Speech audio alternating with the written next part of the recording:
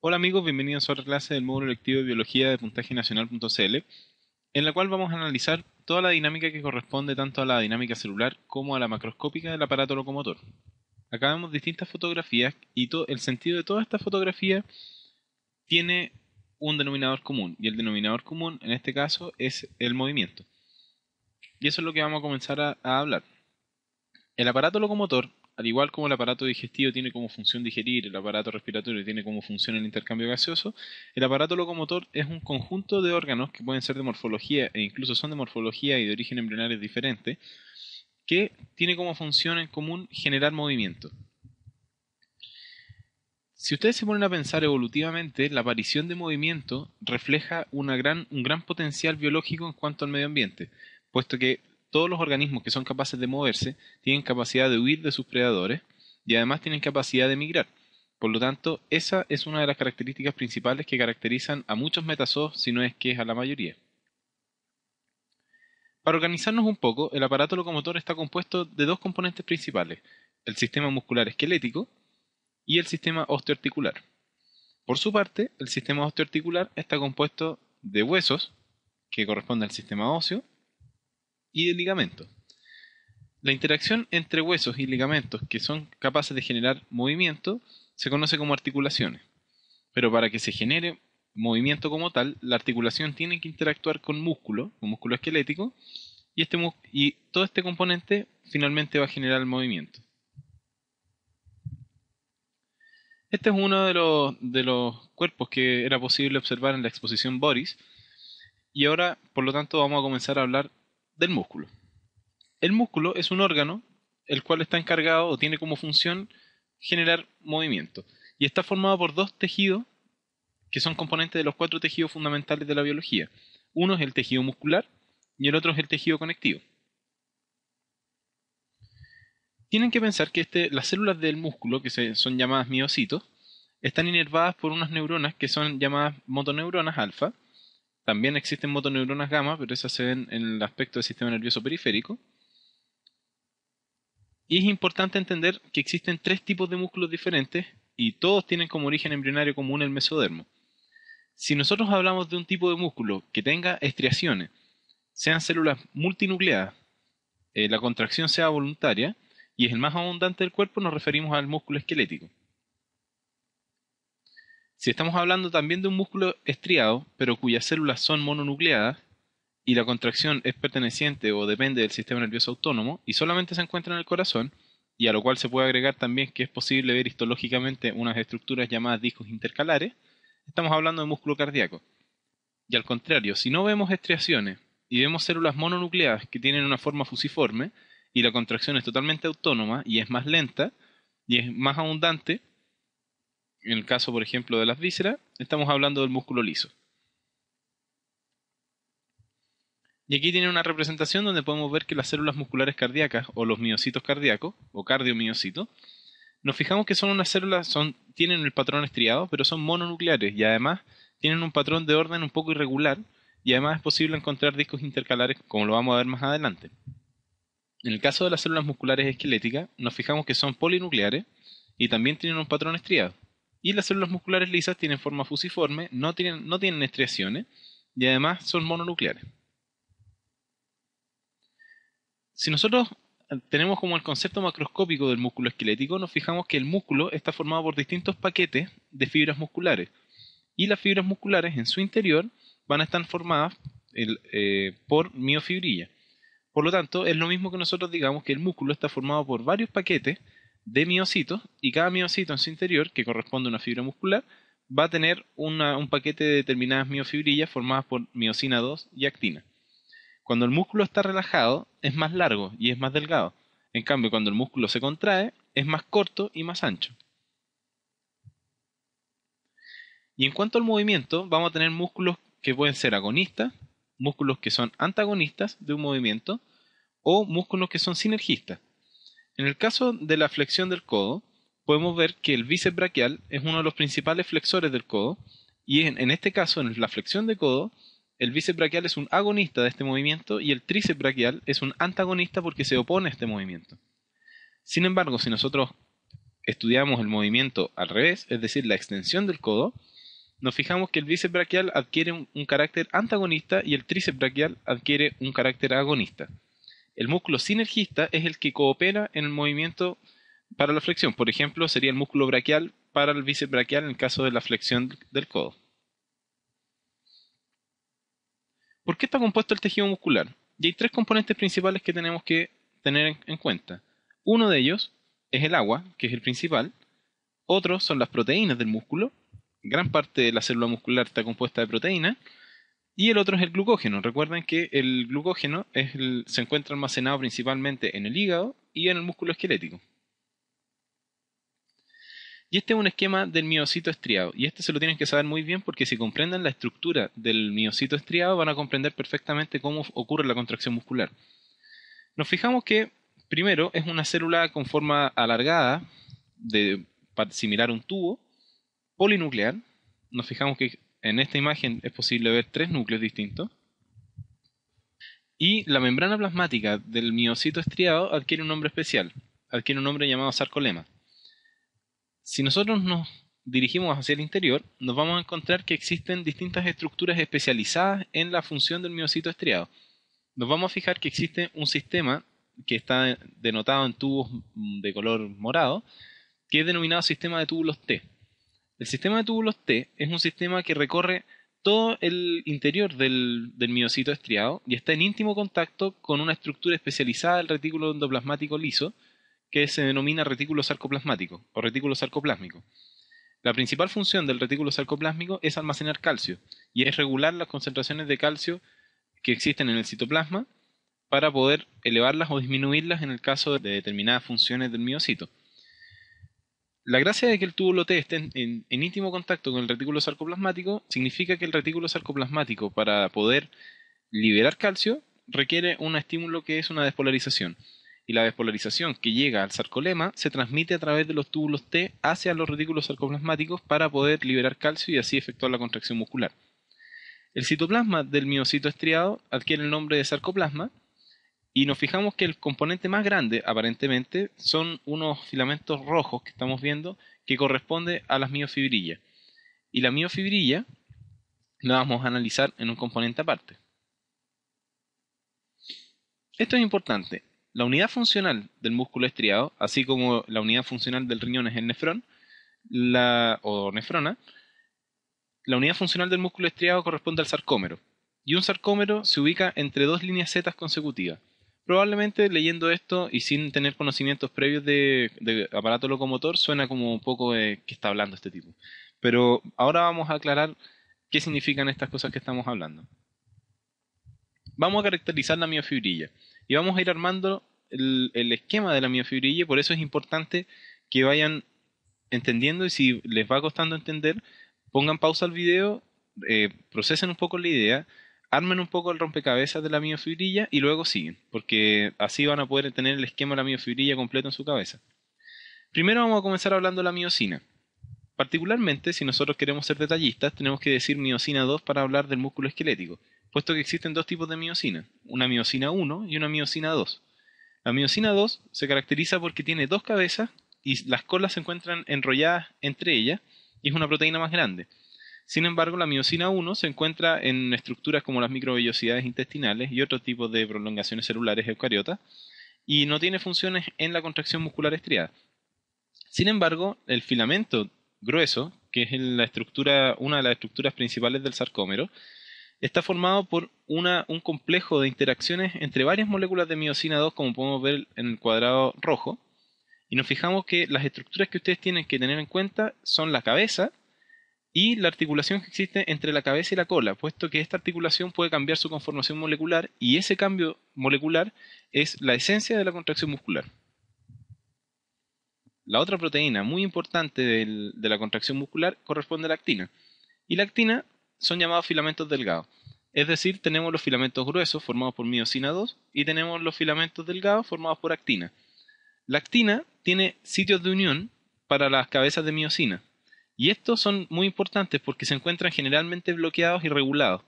Y es por eso que tenemos que hablar de las proteínas que forman la estructura de la miofibrilla, que ya las tenemos, que es la actina y la miocina 2. Y ahora vamos a hablar de las proteínas reguladoras de la interacción entre estas dos moléculas. Una de ellas es la tropomiosina, que como dice su nombre, da la apariencia que estuviera interactuando con la miosina, pero al contrario interactúa con la actina. Es una proteína fibrosa, como pueden ver acá en filamentos entre un color pardo y naranja, que se encuentra bloqueando los sitios de unión a la miosina. Por lo tanto, esta proteína tiene que ser desplazada por, un, por otro complejo proteico al momento de efectuar la contracción muscular para que esta, contracción muscular eh, sea adecuada. Y este complejo que se encarga de desplazar la tropomiosina para liberar los sitios de unión a la miosina que se encuentran en la actina, corresponde a la troponina. Y la troponina es una proteína globular que está formada por tres subunidades, una subunidad llamada I, otra C y otra T. Y la, que a nosotros nos interesa es la subunidad C. Y es por eso que cuando la troponina C une calcio, y por eso tiene que ser la asociación entre C y calcio, cuando une calcio, cambia la conformación molecular de la troponina y la troponina es capaz de desplazar a la tropomiosina y así los sitios de unión a la actina se liberan y la miosina puede unirse a la actina y puede ocurrir la contracción muscular. En todo, todo lo que hemos hablado está, integrado en esta imagen. Nos fijamos que la actina se encuentra en un color celeste y los, puntitos de color medio naranjo representan los sitios de unión a la miosina. Si se fijan, están bloqueados por la tropomiosina, pero al momento de que la troponina una calcio, la troponina es capaz de desplazar a la tropomiosina y estos sitios de unión son capaces de unirse a la cabeza de miosina. Y otro punto importante de entender en, cuanto a la dinámica del músculo es el patrón de bandeo. Si nosotros estudiamos histológicamente eh, y con harto aumento al microscopio una célula muscular estriada, nos vamos a dar cuenta que tiene un patrón de bandeo. Y los componentes que ustedes tienen que saber son los siguientes. Las líneas Z son estructuras proteicas a las cuales se anclan los filamentos delgados de actina y en este esquema están representados en verde. Existe una línea que se denomina línea M, que es la línea media del sarcómero, y la zona H, y la zona H está compuesta exclusivamente por filamentos gruesos. En cuanto a las bandas, existen dos bandas principales, la banda I y la banda A. La única que permanece constante en la contracción muscular, es decir, que su longitud no cambia, es la banda A. Y la banda A está compuesta o se asocia principalmente a lo, a lo que corresponde a los filamentos gruesos. En cambio, la banda I está compuesta exclusivamente por filamentos delgados. Vistos en una célula muscular estriada como tal, se vería una cosa así. Hablemos un poco de la placa neuromuscular. La placa neuromuscular es la estructura formada entre el botón sináptico de la, motoneurona alfa, el espacio intersináptico y el sarcolema que posee los receptores específicos para iniciar la despolarización. Recuerden siempre que el, neurotransmisor encargado de la contracción muscular estriada es la acetilcolina. Por lo tanto, hay que entender bien el mecanismo de la acetilcolina. ¿Y cuáles son, cuál es la dinámica bioquímica de la acetilcolina? La acetilcolina es sintetizada a, partir de acetilsuccinilcoenzima A y de colina. La interacción entre estos dos componentes forma la acetilcolina en la neurona presináptica y la, acetilcolina es empaquetada en vesícula sináptica y luego es liberada cuando existe un estímulo determinado. En el espacio sináptico o intersináptico, la acetilcolina va a interaccionar con los receptores de acetilcolina que se encuentran en el músculo estriado y luego de que ocurre esta interacción existe una enzima en el espacio intersináptico llamada acetilcolinoesterasa y esta enzima va a romper la acetilcolina en colina y acetato y la colina es reciclada, es nuevamente incorporada a la neurona presináptica para volver a sintetizar acetilcolina. Este es un punto muy importante, puesto que si no existiera acetilcolinoesterasa, las concentraciones de acetilcolina que quedaran en el espacio intersináptico permanecerían de la misma manera o igual o, aumentadas. Y esto llevaría a que el músculo estuviera constantemente estimulado y llevaría a una parálisis espástica. Por lo tanto, esto tiene, es un mecanismo muy importante de regulación. El concepto de unidad motora también es importante puesto que existen distintas proporciones de motoneuronas alfa y fibras inervadas. Por ejemplo, existen relaciones para que tienen como objetivo la fuerza y para que nosotros logremos obtener fuerza en el movimiento muscular requerimos un movimiento en bloque.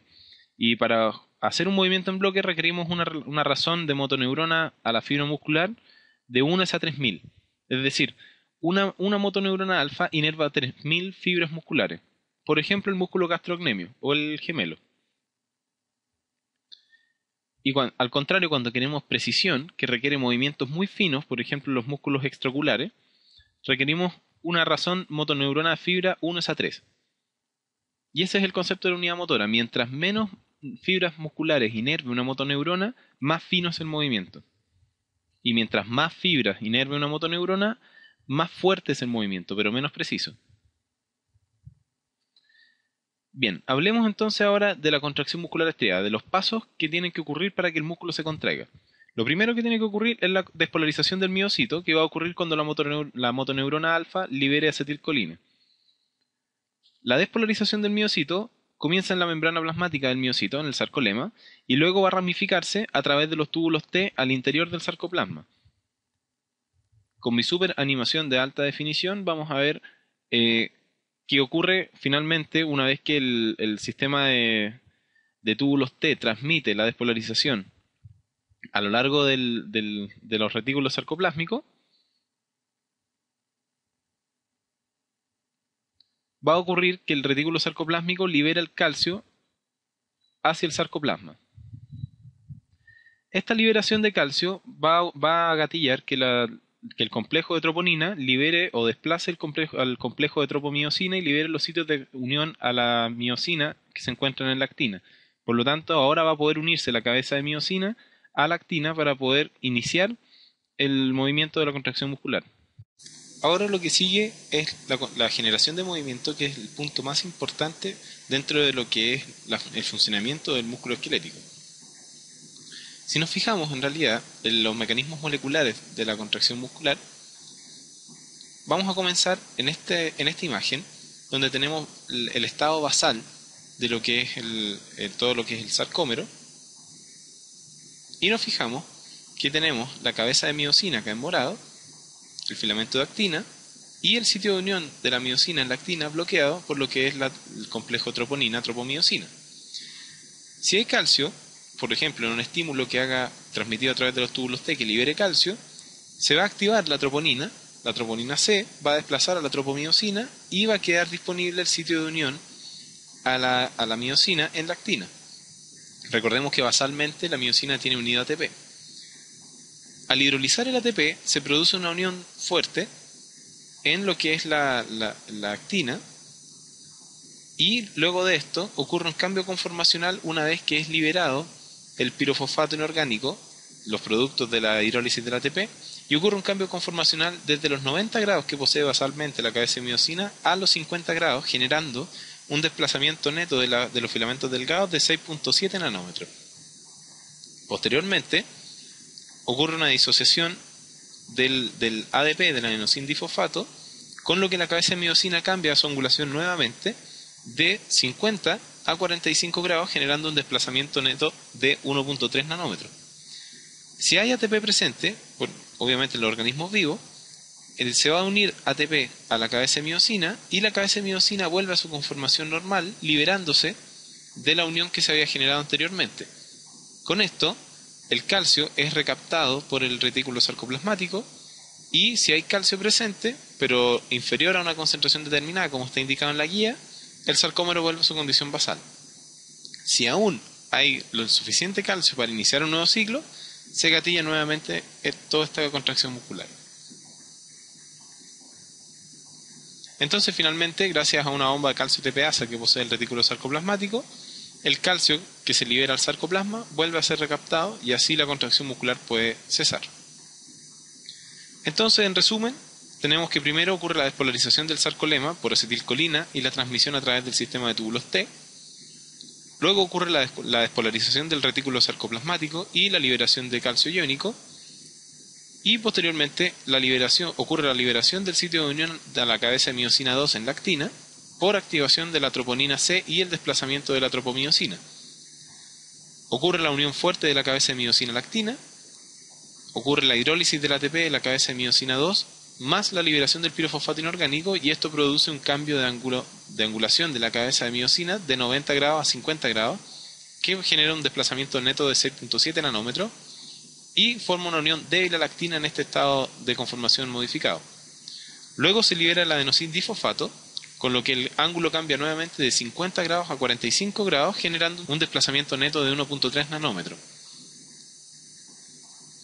Si hay ATP presente, se une ATP a la cabeza de miocina, se libera la unión débil y vuelve la miocina a su conformación basal, generando que los filamentos delgados se desplacen y el sarcómero vuelva a su longitud basal. Ocurre la recaptación de calcio hacia el retículo sarcoplásmico debido a las bombas de calcio TPasa. Con esto se puede detener el ciclo o reiniciar el ciclo. Imagínense que el sarcómero se contrae y fíjense que la zona H se va a cortar, la banda I también se va a cortar, pero la banda A se va a mantener constante porque la banda A solamente asocia filamentos gruesos. Algunos conceptos importantes que tienen que manejar, sobre todo para el tema de la PSU, son los siguientes.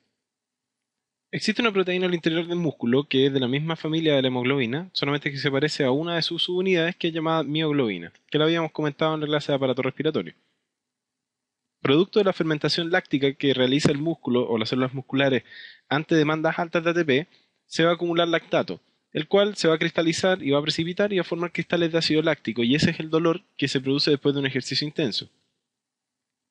En el contexto en el que una célula muscular se vea bajo una, una demanda intensa, va a agotar todas sus reservas de oxígeno para tratar de realizar la mayor cantidad de respiración celular.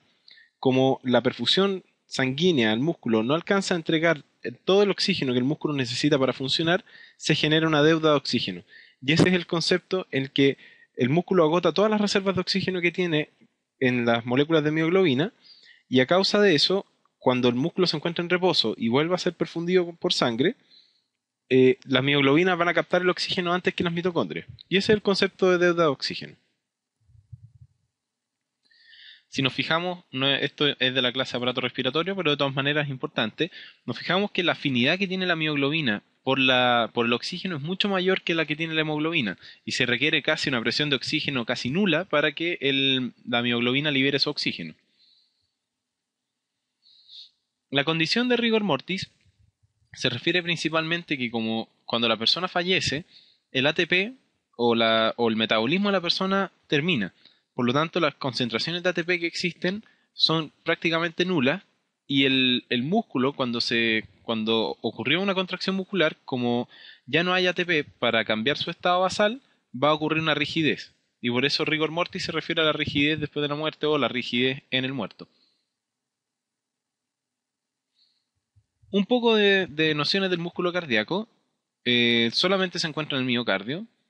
Y existen cinco tipos distintos y todos tienen funciones distintas. Solo, por ejemplo, para destacarles algunas, las fibras que forman los nódulos son diferentes entre sí, por ejemplo, el nódulo sinusal y el nódulo atrioventricular, las fibras de conducción, las fibras endocrinas que, se, que liberan productos, como por ejemplo el péptido natriurético atrial, las fibras de contracción, etc.